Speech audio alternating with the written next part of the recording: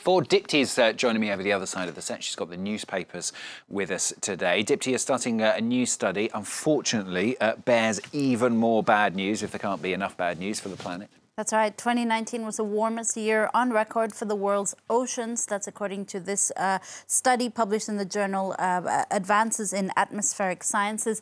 To put that into context, or uh, one professor interviewed by Vice says it's about the equivalent of five, five Hiroshima bombs of heat every second, wow. day and night, 365 days a year. The ocean's temperatures warmed by 0.075 degrees uh, in 2019, which might not sound like a lot, but the amount of energy that's needed for uh, that's needed to be absorbed for it to rise like that is astro astronomical. Uh, the single year increase in stored energy between 2018 and 2019 was equivalent to 394 million Hiroshima bombs. Wow, it's scary uh, statistics, isn't it? You found a, a, good explainer, haven't you, in The Guardian, this is, on what all of this means concretely, of course, uh, for global warming. Well, that's right. One might ask, why does that affect us? We don't live in the oceans, we live on the land. But um, in this Vice, uh, in, in that Vice article I showed you earlier, the professor explains that oceans absorb over 90% of the heat that humans are pumping out into the atmosphere, and it's what shields us on land from even higher temperatures. Uh, so when the ocean warms up, as the Guardian explains, this is irrefutable proof that climate change is happening and it's happening on the oceans first. Concretely, this could uh, result in more floods, more droughts, more wildfires. So the early beginnings of what which we're starting to see, for instance, in Australia, um, coral bleaching, sea level rises, which will no doubt uh, impact low-lying cities. It's also prompted the UN to uh, issue a draft biodiversity plan that calls on governments to protect one third of all lands and oceans and calls for major reductions in pollution between now and 2030. 2030. Admittedly, it's a new plan to replace the old one that didn't live up to expectations. So, uh, not a very positive outlook there.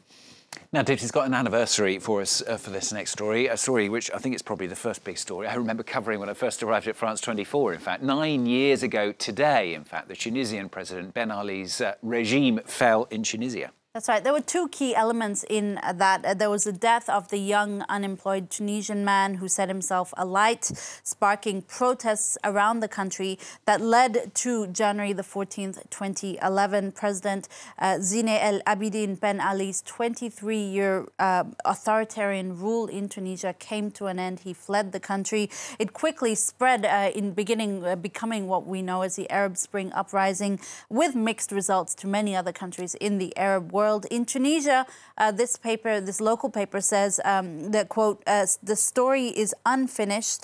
Uh, while political advancements were made, economically and socially, the inequalities have increased in Tunisia. That's a legacy nine years on.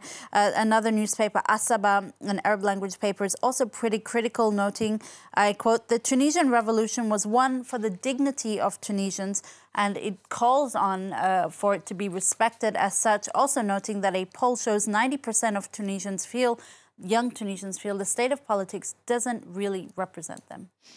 Now, it's uh, award season, as it is every uh, January, gets underway. The Oscars nomination came out yesterday. Critics say the Academy, once again, are really blinding in its lack of diversity. Yeah, admittedly, there were a few, very few, uh, culturally diverse nominations, like the South Korean film Parasite, which was nominated for Best Picture and Best International Film.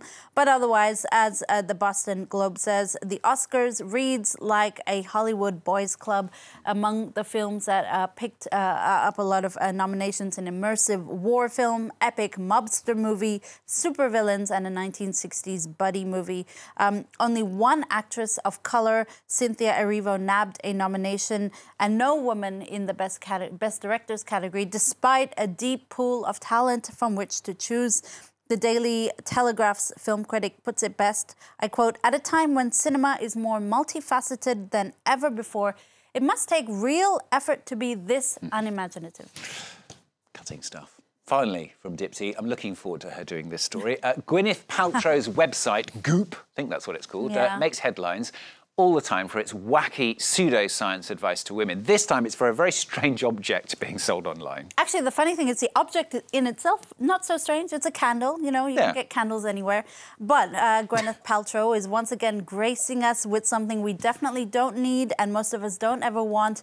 It's a candle scented like her vagina, specifically uh, her vagina, it must be said. Even worse uh, than selling such a contraption is the price, um, Stuart. It's seventy-five dollars. Oh my goodness. And if that doesn't make you question your faith in humanity, as this writer here from Pop Sugar says, the fact that it's sold out online certainly will. There's a waiting list. I've signed you up already, Stuart, for this Wow. candle. Um, the French paper Le Figaro reminds us that Gwyneth Paltrow is not a medical professional. Um, they've put together a list of her worst, worst health guru advice, including vaginal steaming, which was slammed by gyne- gynecologists, you know, the actual medical professionals. She also um, suggested daily colon cleanses with co- with coffee, which doctors absolutely have downright advised against. So please take her advice with a grain of salt. Better yet, Yeah. don't take her advice at all. She's not a medical professional. How on earth do they know that the candle? No, no, I'm Never just mind. no, not going into that. All right, they're all with the papers on France 24.